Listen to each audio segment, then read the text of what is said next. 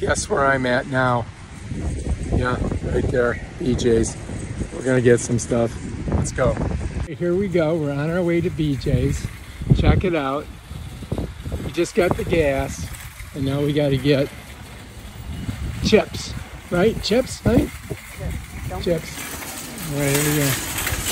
zip up your leg. Just get ready to save. Zip up my leg? Yeah, look at all that. They got these giant, look at this thing. This thing's huge. All right, this is it right here. And the price is about 2,000 bucks. Let me get a better view of it over here. This is it here. You can set that up in your backyard. This is what it looks like for 1900.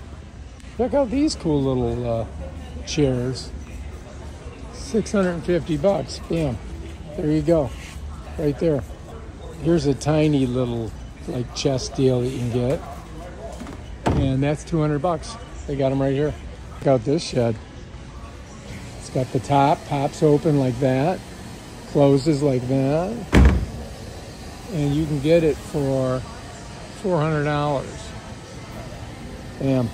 Here is an outside shed, six by five foot. I do believe it's $800. Bam, right there.